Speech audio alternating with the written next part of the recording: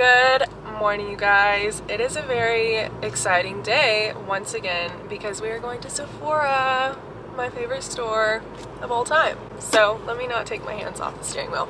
I just got a little excited there, but yeah. Oh my god, something so traumatic just happened to me. I got out to pump gas and it's kind of a windy day. Speed bump but it's kind of a windy day and I don't know if somebody was like sanding wood or what, but a whole like mini micro wood chip went into my eye and like lodged itself. Like that's some traumatic shit right there. But when I was pumping gas, I had no idea what was in my eye. I thought like a bug or something flew in my eye. So I just like held my eye like this until I was done and just like got in my car and I looked and I was like, that literally looks like a wood chip. But luckily I was close enough to home. So I went home and I got like a Q-tip and like got it out and I showed my boyfriend Koa and he was like, this is literally a mini wood chip. Lodged in my eye.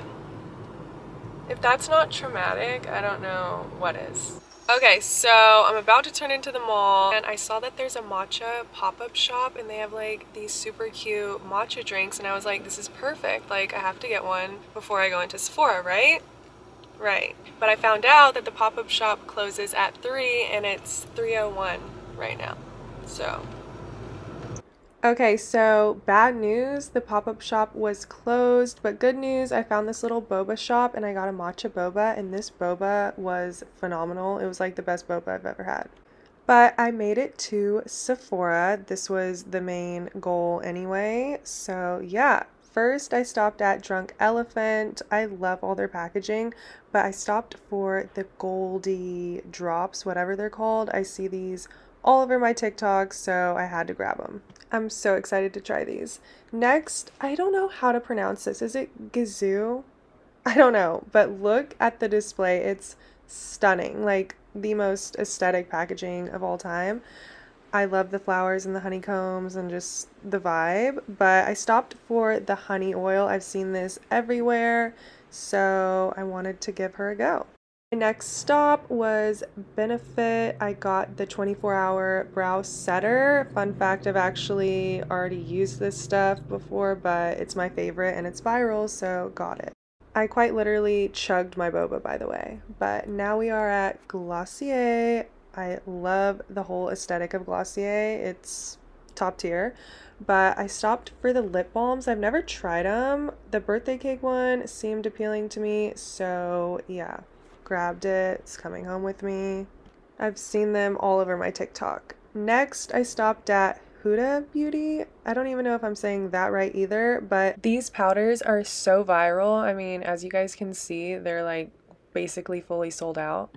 I just wanted to get one of the minis, so I went with Banana Bread because that was the only shade they had in the minis. So yeah, Next, I stopped at Patrick Ta. I've been wanting to try the blush for so long now, and I feel so late to trying it, but yeah, I had to get her at some point. I swatched She's Vibrant, I believe, and She's a Doll. I wanted She's a Doll, but this Sephora was sold out, kind of broke my heart.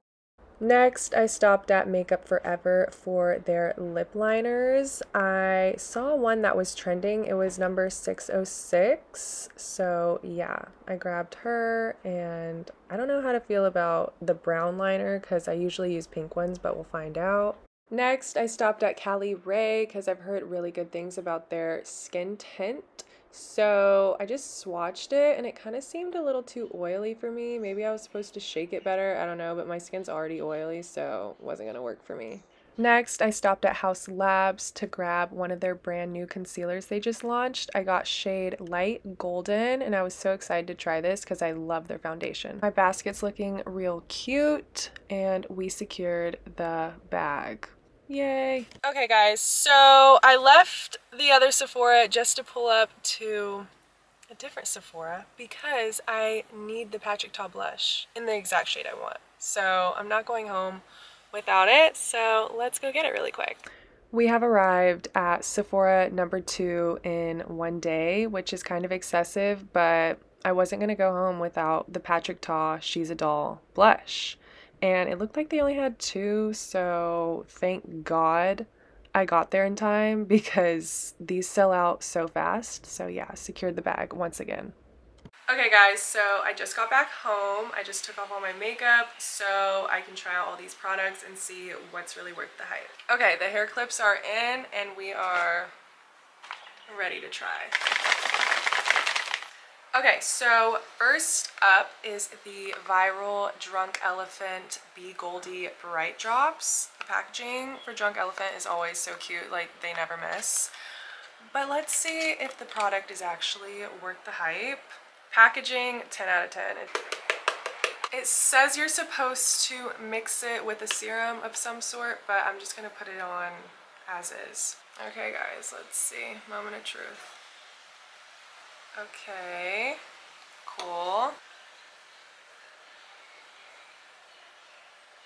I'm using my mirror and my camera finder, so if I'm looking everywhere, that's why.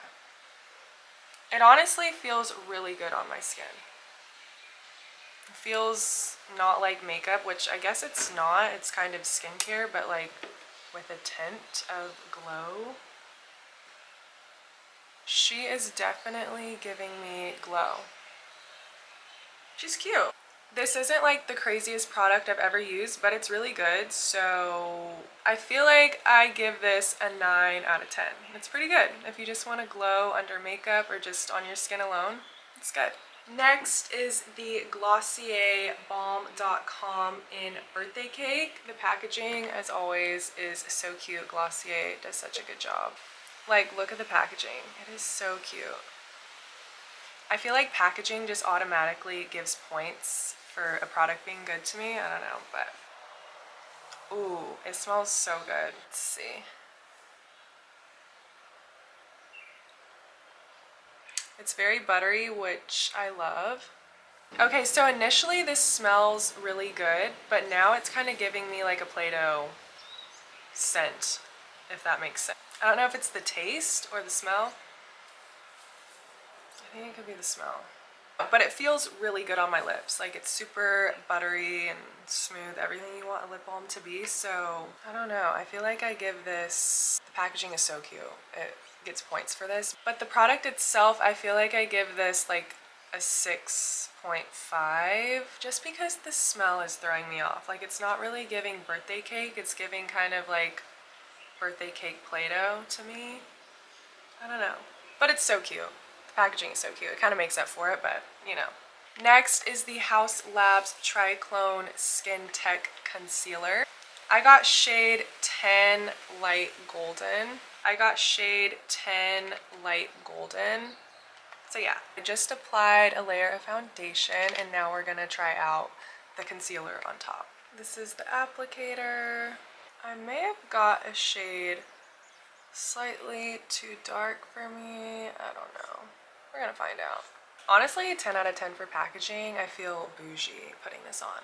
This is honestly blending out so well. Wait, this is so good. This concealer is blending out so seamlessly. Like, it looks so good. And the coverage is chef's kiss. Oh my god, I just stabbed myself in the eye.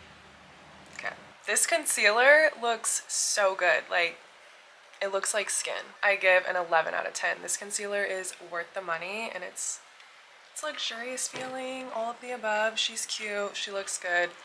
11 out of 10. Now that I have done my concealer, it is perfect timing for the Huda, am I saying that right? Huda Beauty Easy Bake Loose Baking and Setting Powder.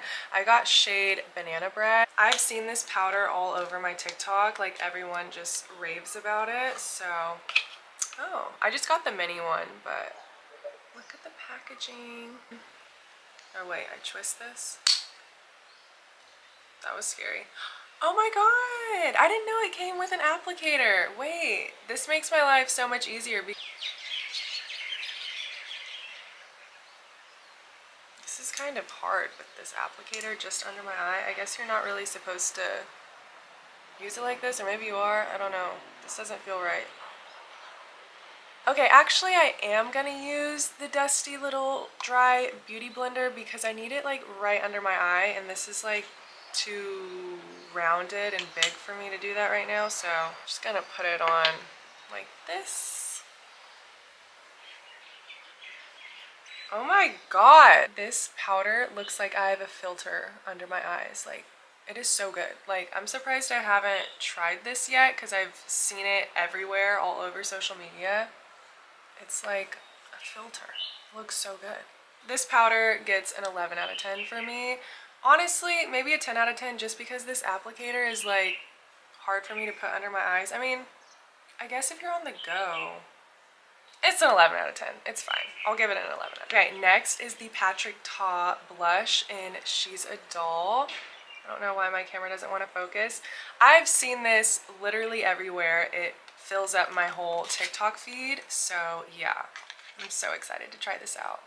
I just put on a little bit of bronzer because I like to wear my blush with bronzer. So yeah, I already got my fingerprints all over it, but this is the packaging. It's so sleek and luxurious. I don't know why. I just like got my fingers all in it. It's okay. It's okay. She's still pretty and perfect. We're all good. But look at these colors, you guys. So this one's a cream and this one's a powder, if you don't know. This color is very similar to the viral Dior blush. So yeah, I'm very excited to try this out. One reason why this stuff is so viral is because typically you put cream and then powder, but he says you can put powder and then the cream on top. So we're gonna try that method out today. This feels so wrong to put the powder and then the cream, but we're gonna go for it. So let's take the cute pink. Whoa, I have a lot. I feel like this is gonna be so pigmented. Oh, okay. Wait. No, we're good. I didn't get too much. Well, maybe. Let's just see. So cute. I have way more on this side than this side, but it's fine. Just keep blending. This stuff is pigmented, so don't use too much on your first go. Okay, now for the scary part is putting the cream on top. Hopefully I do this right. I'm just going in with this beauty blender, a damp beauty blender, and dipping it in the cream. And then gonna apply it on top of the powder. This is looking so good actually. It's like giving a glow, like it looks like skin. Yeah, it looks more glowy on this side than this side. This side's still glowy, but like this side in person looks more like skin. Oh my god, I can see why this is viral. This is so pretty. This is one of the best blushes I've ever used. I give this blush a 12 out of 10. This stuff is so beautiful. The application and everything is just, it's so good. Okay, so I just filled in my brows because next I am using the Benefit 24 hour brow setter. I actually have already tried this. I use it pretty often, but I ran out. So let me just show you guys how good it is. Oh god, there's a lot of product on that. It just does what I want it to do for my brows. I don't know. I just think it makes my brows look so good. It's a 11 out of 10 for me. Next is the Makeup Forever lip liner in shade 606 Wherever Walnut is what it's called. It's like a brownish lip liner. I'm super curious how this is to look on me because I usually wear pinkier lip liners. Okay. Super buttery. I love this color. Wait, this is so pretty. This is my new favorite lip liner. This gets an 11 out of 10. I know I'm giving everything an 11 out of 10, but it's so good. Okay, lastly, I'm so excited about this. This is the Viral Honey Infused Lip Oil. I don't know how to say this properly. Is it Gazoo? I don't know. That sounds so wrong, but like, I don't know how else to say this. But I can see why this is viral in the sense of like the packaging. It's like so aesthetic and the bottle's like wavy and it's in glass, I believe. This is the lip oil. Oh, it's heavy. It's in glass, which I love. It just makes it feel extra bougie. So let's, let's give it a go. Why is this not coming out? I'm scared. Oh, okay. Here's the applicator. I don't know why it won't focus. Okay, there we go. Cute. Let's try her out. Oh, I feel like it has a little yellowy honey tint to it. Feels really good. I'm getting lip liner all over this, oh my god. I don't think it has a scent. I don't smell anything. Actually, maybe like a very subtle honey scent. I don't know. I don't know. I could be tripping, but I don't know if it's the best lip oil I've ever used, but like the packaging, I feel like it makes up for the price and everything. I'm gonna give this like an 8 out of 10. I feel like the product could be better. I mean, it's not bad, but I don't know, it's not crazy to me. The packaging is like the best part. I don't know, it's an 8 out of 10 for me, so. Okay, I just put on a little bit of mascara just to pull this makeup look together, but that's irrelevant. So that is all for today's video. I hope you guys enjoyed this Sephora haul. If you guys have any video recommendations or requests, let me know in the comments. Or if you guys want me to like review a certain product, let me know. Or just let me know like any viral products you know of because I want to be put on. So yeah. Thank you guys so much for watching and I'll see you in my next video. Let me take these clips out. Sometimes these clips pull my hair, I swear, it kind of hurts. Final look.